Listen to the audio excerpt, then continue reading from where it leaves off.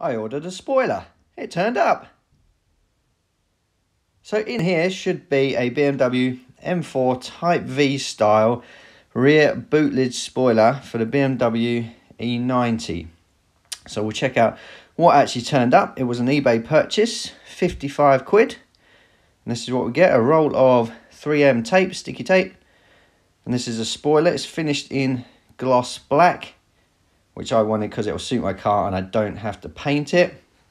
The quality, pretty good, not too bad on the top surfaces. The gloss back finish is okay, you know, it's pretty good, £55. Wasn't expecting great things, but yeah, yeah, yeah, a bit of um, sticky stuff, I guess, where the painting process was done, that was still on there. Bit of a shame, but other than that, pretty, pretty happy with that. So let's check out the car it's going on. So this is my BMW 320 SI, the limited edition version of the uh, E90 model, 2006. So I wanted to run this video to show you guys what this spoiler looked like on this car. Because before purchasing this one, there was nothing that I could find showing decent representation of this Type V spoiler on an E90. So this is what it's like without.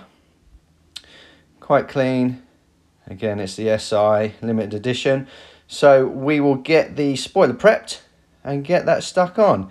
Simple deal, roll that tape around the edges so it's all sticky, sticky, sticky. And then for the next bit, you're gonna need a tool. I found my brother. So we stick it on. Be careful doing it. You kind of get one shot. Once it's stuck on there, it's on there. It was hard to reposition um, if you got it wrong. But yeah, it's just a case of lining up. We work together and it pressed on. And that was end result. So that's what it looked like once it was stuck on. Again not a complicated process. Just got to be a bit accurate. I did a few test fits as well before taking the backing off the tape just to make sure we have positioning correct. But overall pretty happy with it. The fitment's about 90% there. Underneath uh, it didn't quite line up but overall it gave the appearance that i wanted. Sticks out a little bit and gives a bit of a depth to the back end of the car. So all in all, pretty pleased with it. An eBay purchase, the BMW M4 Type V rear spoiler on the BMW E90. But thanks for watching, folks. There it is.